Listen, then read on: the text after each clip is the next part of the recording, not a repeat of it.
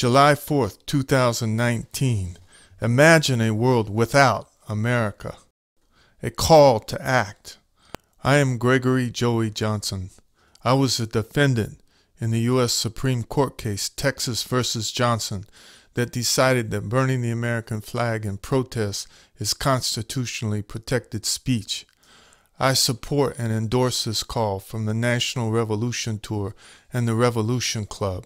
On July 4th, 1852, the great anti slavery fighter Frederick Douglass said, For revolting barbarity and shameless hypocrisy, America reigns without a rival. As we approach July 4th, 2019, the American flag flies over concentration camps on the border blesses the bombs and planes and troops that have murdered and mangled hundreds of thousands of children. It flies over the pens that mass incarcerate, especially black, Latino, and Native Americans. It's pasted on the derricks that drill into the earth and destroy the environment. It is on the lapels of the legislators who rip from women the right to control their own bodies. It is waved by the shameless fascist Trump, who struts as president and plans to bray and grunt a speech that day in Washington, D.C. We echo Frederick Douglass and say, barbarity and hypocrisy? Truer words were never spoken, whether back then, today, or all through U.S. history. And we echo and stand with the leader of the revolution today, Bob Avakian when he says, if you can conceive of a world without America, without everything America stands for and everything it does in the world, then you've already taken great strides and begun to get at least a glimpse of a whole new world.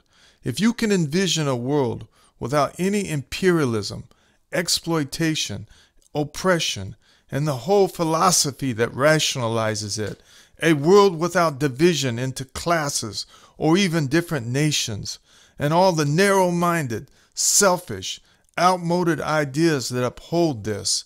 If you can envision all this, then you have the basis for proletarian internationalism.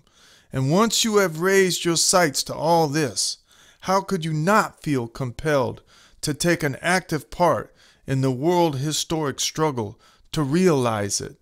Why would you want to lower your sights to anything less? This year, we invite you to conceive of a world without America and to fight for that world.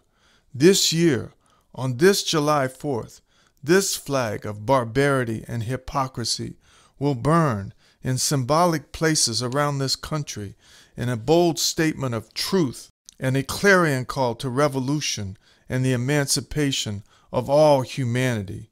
Be part of this. Spread the word through social media and do your own flag burning on that day where you are. Another world is possible if we dare to fight for it.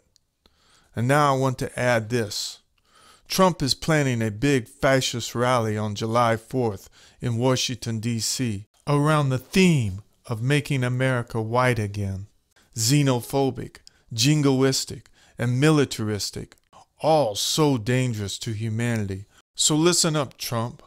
On July 4th, I'm going to be in the movement to burn the American flag in different places that symbolize the reality of what this flag stands for, in a way and in a place that will be quite legal, but which will unmistakably challenge and expose your whole fascist regime and agenda.